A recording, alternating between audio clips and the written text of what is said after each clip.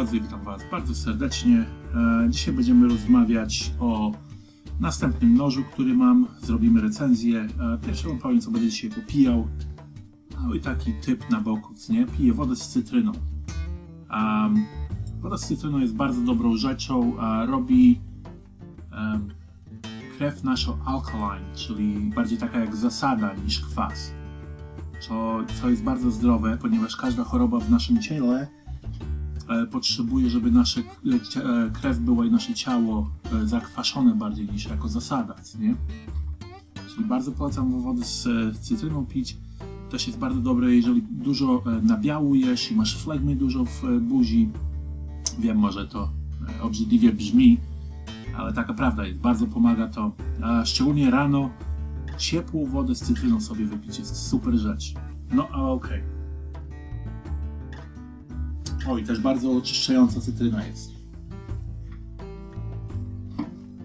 Um, jeszcze jedna rzecz. E, Niektórzy mogą powiedzieć, że cytryna przyjaźń się z kwasem, także robi twoje ciało zakwaszone, co nie, bo ona w sobie coś ma takiego, że właśnie pomimo, że jest kwasem, robi twoje y, ciało jak zasada.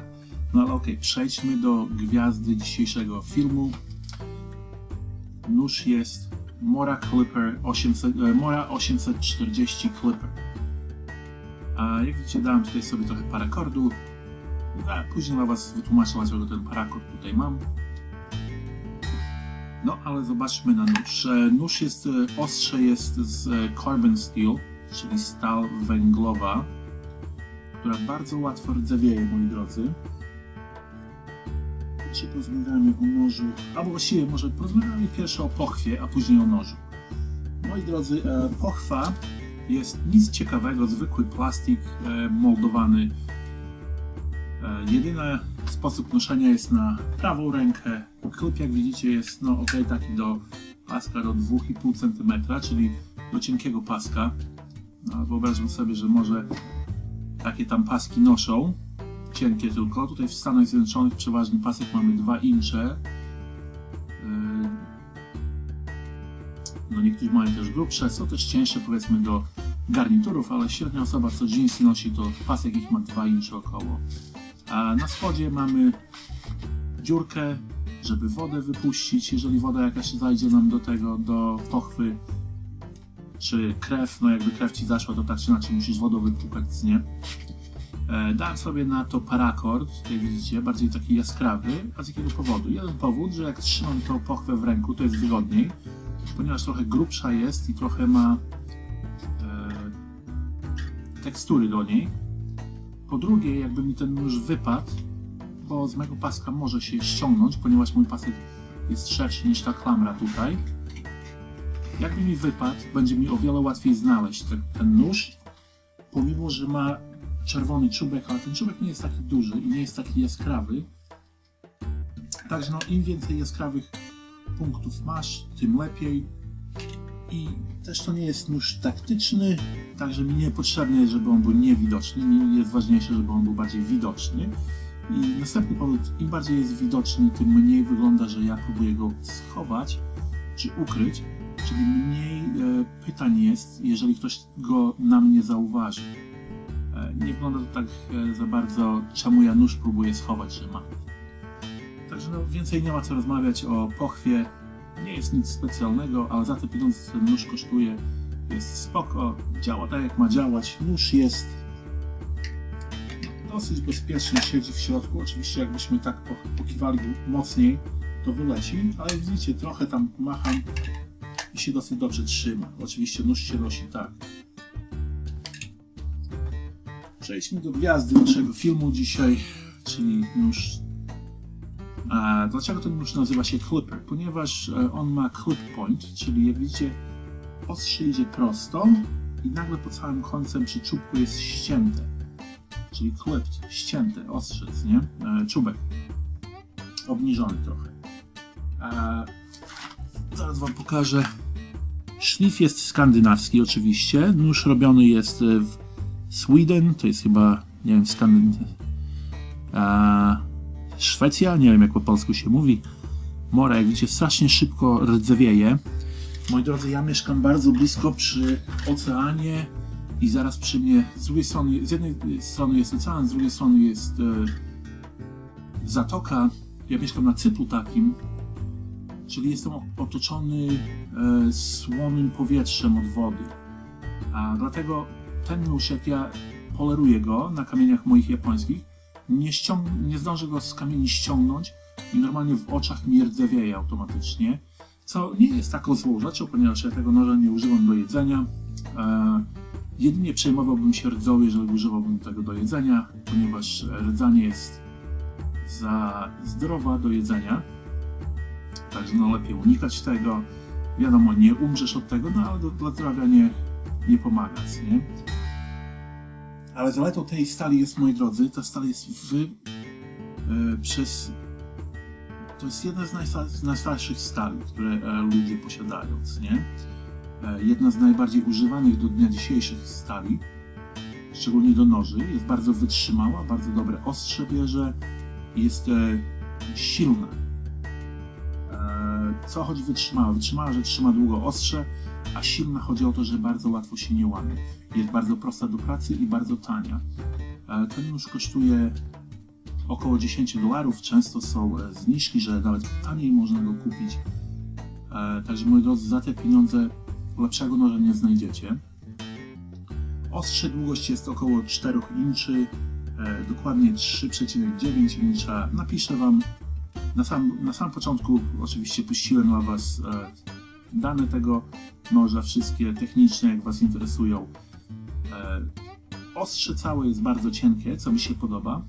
Nóż jest praktycznie budowany do bushcraftu i do, po, dla myśliwych do obierania zwierzęcia też. E, nie jestem myśliwym, także nie wiem jak dobry on w tym jest, ale marketowany do tego też jest. Do bushcraftu, do, do pracy w drzewie, moi drodzy, ten nóż jest niesamowity. A przejdźmy do od ostrza przejdźmy do rączki.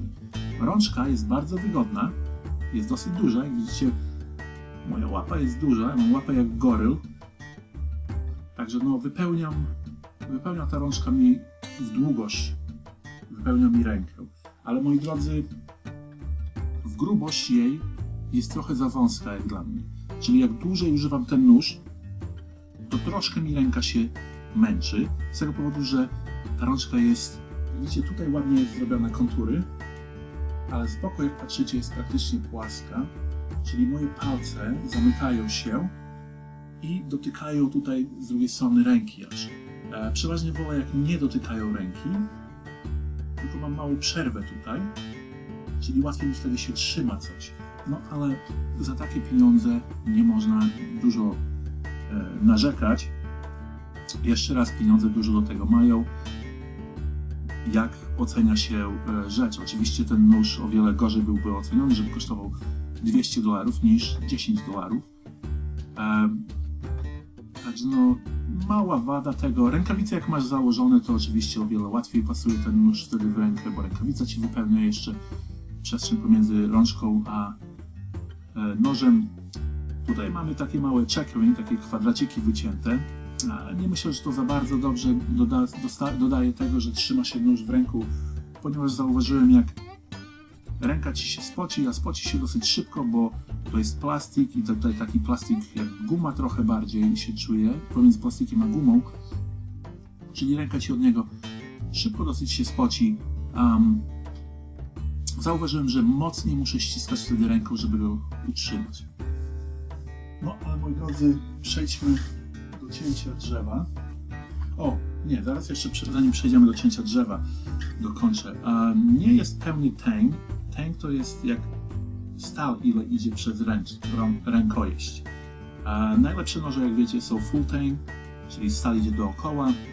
W tym nożu jest tak zwany rat tang, czyli ta stal tutaj jest ścięta w mniejszą i patyk taki około pół, pół centymetra idzie gdzieś do tego miejsca. Czyli no jest szansa, że może ta rączka pęknąć. Ale moi drodzy, takie deski jak te, czy 2x4, um, czyli takie deski 2 na 4 incze, batonem nawalałem, nóż jest jeszcze dobry.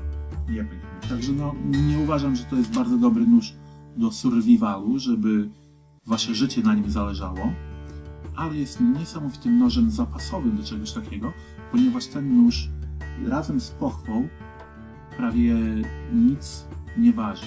On jest no, naprawdę tak lekki, że go nie poczujecie, jeżeli macie go na sobie. Czyli nie ma sensu nie mieć go przy sobie, szczególnie za tą cenę, co on kosztuje. Jako nóż zapasowy, czy nóż do mniejszych prac. Jeżeli chodzi o cięcie drzewa, moi drodzy, jak widzicie tutaj ta sama sosna, co kiedyś. Zobaczcie.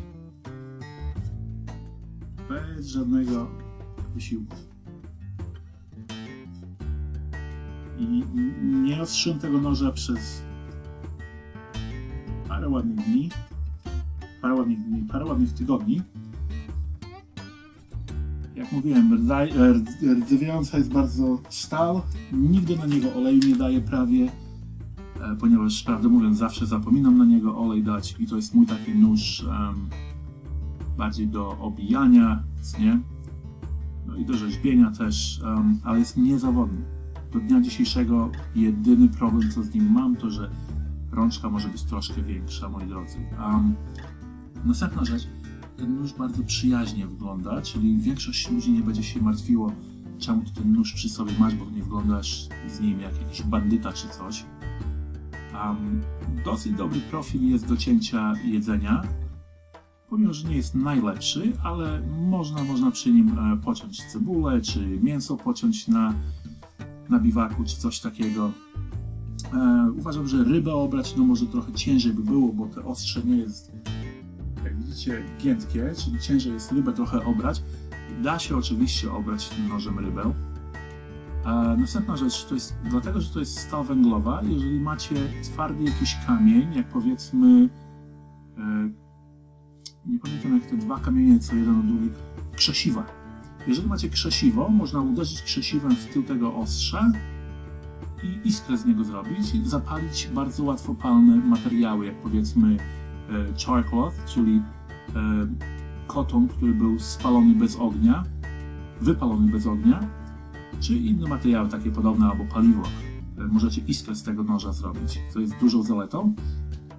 Z tyłu ten grzbiet, no moi drodzy, nie wiem gdzie teraz jest moja Fire Steel, czyli stal ogniowa, ta co iskry daje, także nie, nie zademonstruję Wam, ale z tyłu ta, ten grzbiet nie jest perfekcyjnie 90 stopni, ponieważ on jest niewykończony, czyli taki jaki wychodzi z maszyny, taki zostaje. Ale jest na tyle dobry, że da się radę iskrę zrobić, a jeżeli na, naprawdę chcesz, możesz wziąć i sobie sam zaszlifować na ostry kąt. A mogę Wam zademonstrować tutaj na tyle deski, jak on skrobie. No jak widzicie, deskę bez większego problemu skrobię. Jeżeli deskę poskrobie, to dobrą stal też dużo isk iskry z niej pójdzie, ponieważ te stale są miękkie. Także moi drodzy, no w dniu dzisiejszym to jest mój jedyny i ulubiony nóż bushcraftowy, oczywiście dlatego, że jedyny. Um, są inne noże, które chcę kupić, które kosztują 100-150 dolarów, ale ten nóż jest na tyle dobry, że do dnia dzisiejszego, za każdym razem, co już chcę kupić taki nóż, e, przez, zatrzymuję siebie, ponieważ wiem, że to, co tym nożem za 150 dolarów mogę zrobić, zrobię to samo tomorrow, jeżeli chodzi o rzeźbienie i takie rzeczy. Oczywiście te noże może będą trochę bardziej ergonomiczne od tego, ale też kosztują 10-15 razy tyle.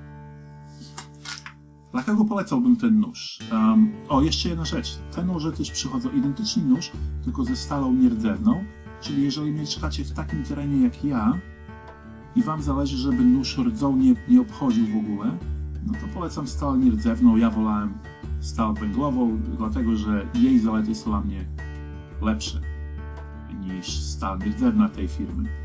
Um, dlaczego ten nóż bym polecał, moi drodzy? Dla początkujących bushcraftowców, tak jak ja, Następne dla ludzi, którzy chcą mieć nóż awaryjny jakiś mały ze sobą, jako zastępstwo y, pierwszorzędnego noża swego, czy na biwaku, czy na wycieczce jakieś, czy coś.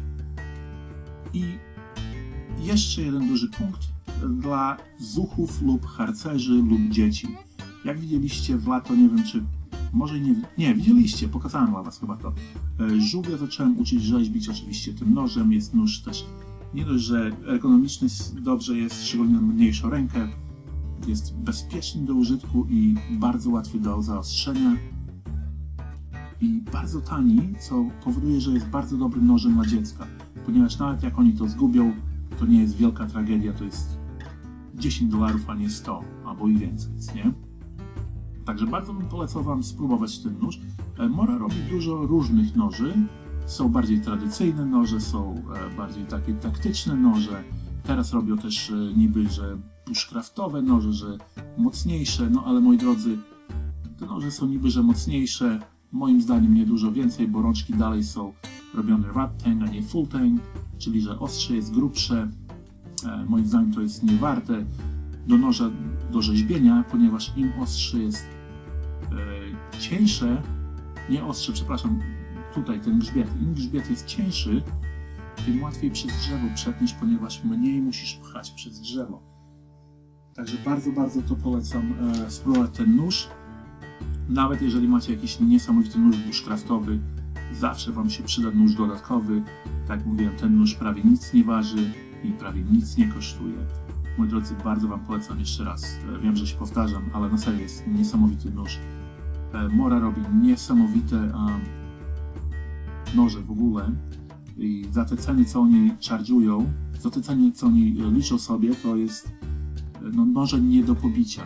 Nie ma innego noża na rynku, który ma taką jakość jak oni i kosztuje tak mało, ile ich nóż. No okay, moi drodzy, mam nadzieję, że podobał się Wam ten nóż, jeżeli go wcześniej nigdy nie widzieliście. Polecam go zobaczyć sobie na rynku, ile kosztuje w Polsce kupić. Powinien być bardzo łatwy do dostania, bo są bardzo powszechnymi nożami. Także ceny dużo e, się zmieniają też. Jeszcze jedna rzecz. E, nie oczekujcie, że będzie niesamowicie wykończony ten nóż. Rączka jest wygodna, wszystko jest wygodne, ale jak spojrzycie się na czubek, nie wiem czy kamera moja odbierze, czubek nie jest idealnie na środku. Ten szlif jest mniejszy i węższy niż ten. Nie jest to olbrzymim problemem, ponieważ to przesuwa tylko czubek o pół milimetra w bok. No jak naprawdę komuś powie, że ten nóż balans mu odrzuca, to chyba jest osobą psychopatyczną, ponieważ nawet jak wiercisz w desce, przepraszam, wiem, że to będzie niebezpieczne, ale w tym miejscu nie chcę wiercić, ponieważ to będę teściowe jeszcze używał. Nawet jak wiercisz w desce tak, to nigdy nie wyczujesz tego, że on jest pół milimetra e, na bok. Oczywiście um, nie za bardzo polecam wiercenie takim czubkiem delikatnym. Nie jest e, bardzo łatwy do złamania, ale jest dosyć delikatny czubek, ponieważ jest lepszy do rzeźbienia niż do wiercenia, niż wybijania dziur w e, drzewie. No okej, okay, moi drodzy, przestanę rozmawiać, bo już zaczynam powoli w kółka biegać. Jeszcze raz polecam Wam ten nóż. Dzięki za oglądanie, dzięki za Wasze wsparcie i subskrypcję. Życzę Wam miłego dnia. Na razie.